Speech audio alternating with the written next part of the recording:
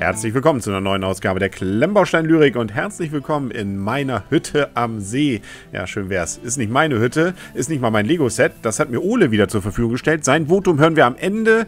Das, was wir hier haben, sind 368 Teile für knapp 25 Euro. Erschien Anfang 2016 und das ist nicht Peter Fox, dass der dann jetzt zu seiner Hütte am See passen würde, sondern ähm, das ist einfach ein namenloser Angler. Aber er ist dabei mit äh, Kaffeetasse und eben eben Angel inklusive, ja, zumindest angedeuteter Kurbel, die er dran hat. Man sieht, er ist glücklich, er lächelt und er freut sich des Fisches, dass er den gleich fangen mag. Den werden wir dann auch gleich sehen.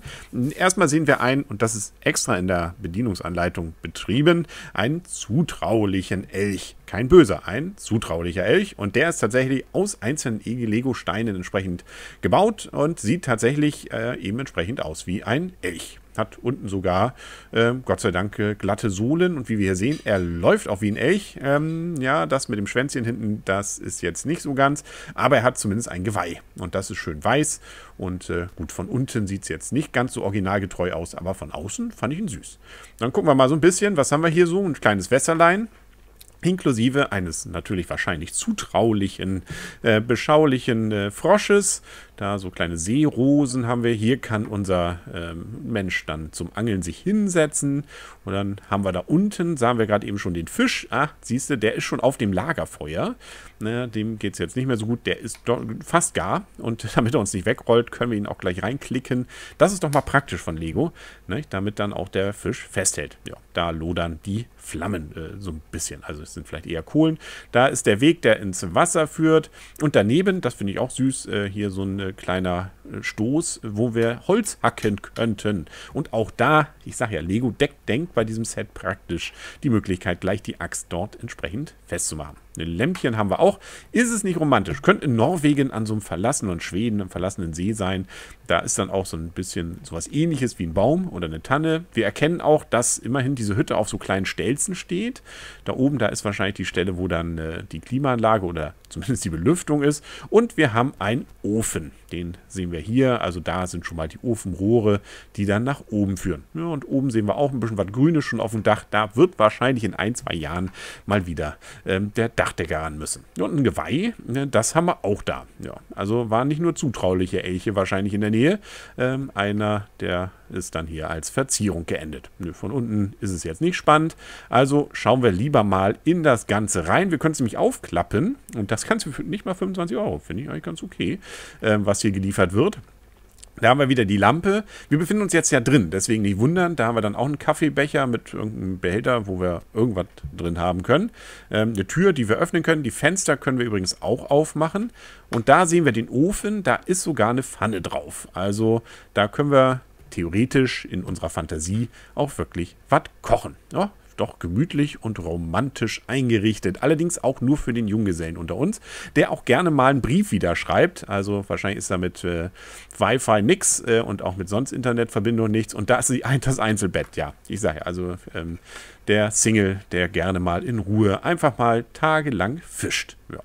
Da kann er sich denn hinbetten oder auch seine Memoiren schreiben oder sowas. Romantisch. So stellt man sich, äh, nee, ich würde glaube ich lieber mit meiner Familie dann dahin fahren.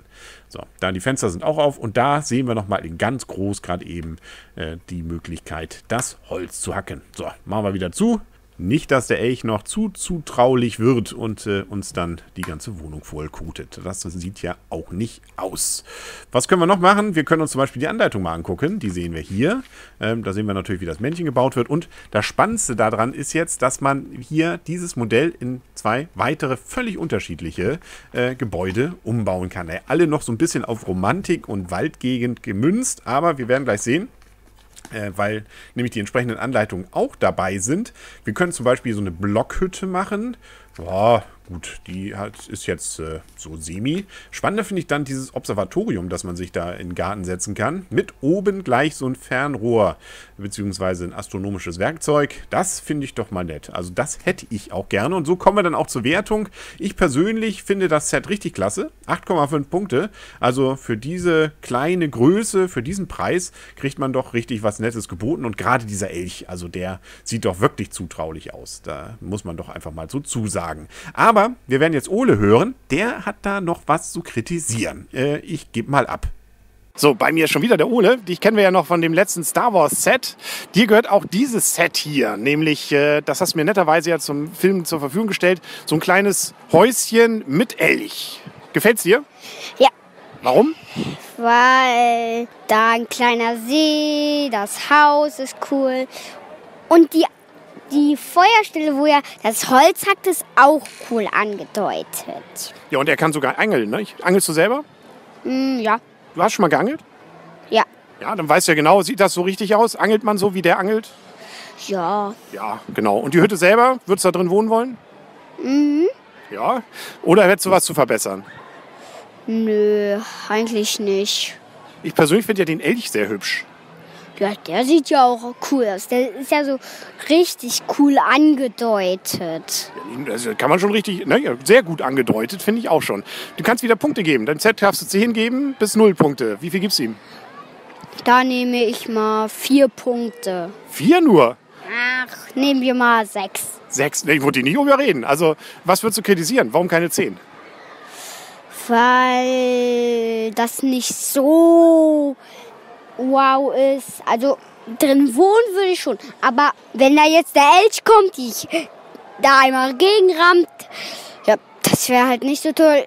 Und cool finde ich noch, dass, ich weiß nicht mal wo, aber da war so ein kleines Hörnchen, da waren so zwei Hörner. Das fand ich toll angedeutet, wie halt so, So ein Geweih. genau. Okay.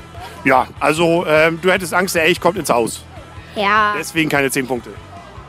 Ja, okay, kann ich nachvollziehen. Und mit diesen versöhnlichen Worten sind wir dann auch am Ende. Vielen Dank an Ole für Leihgabe und Stimme und bis zum nächsten Mal bei der Klemmbaustein und tschüss.